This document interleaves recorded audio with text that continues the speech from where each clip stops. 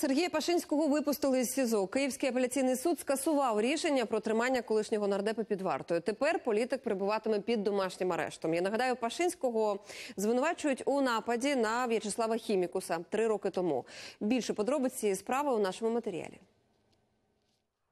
Це житель Васильківського району на Київщині В'ячеслав Хімікус показує журналістам своє поранення. Відео зняте на початку 17-го року. Раніше, 31 грудня, 16-го у нього виник конфлікт із нардепом Сергієм Пашинським, який закінчився стріляниною. Пашинський з дружиною поверталися на машині додому і, начебто, мало не врізалися в мікроавтобус В'ячеслава, який стояв посеред дороги. Виникла суперечка, в ході якої нардеп прострелив ногу В'ячеславу Хімікусу з іменного глоку з бойовими набоями. Хімікус заявив, що був без зброї та навіть не торкався депутата. От Пашинський свої свідчення змінював неодноразово. Спочатку казав, що той вдарив його по голові. Він впав і стріляв лежачи, але виявилося, постріл здійснено стоячи. А перед цим екснардеп взагалі цілив беззбройній людині у груди. Проте Пашинський на той час був головою парламентського комітету безпеки і оборони. Тож судді повірили йому. Поготів він неодноразово називав себе жертвою нападу.